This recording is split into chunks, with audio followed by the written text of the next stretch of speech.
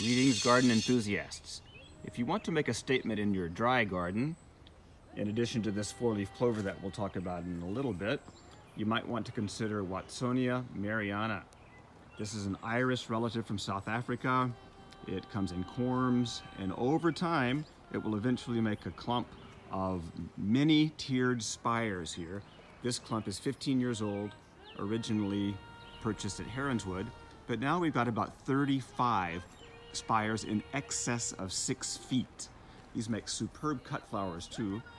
Each of the spires will bloom from the bottom to the top in succession. Then we get some side shoots coming off as well. This coral pink Watsonia is growing above alstroemerias of nearly the same color. The alstroemerias are just about finished. The Watsonia is just beginning. This Watsonia is a clumper, not a runner, and will stay in a pretty tight circle for many years. It's growing in a gravel bed here. That is a key feature for its survival, is excellent drainage. Its neighbors are many other plants from southern and eastern Africa, such as this Oxalis deppei iron cross, every one a four-leaf clover, a purple eucomis, a dierama that's just budding up here. All three of those are from South Africa.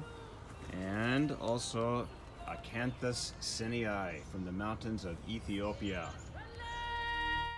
So if we consider the example of our buzzing pollinator friend here, we too can be happy in the garden with Watsonia meriana. Ciao.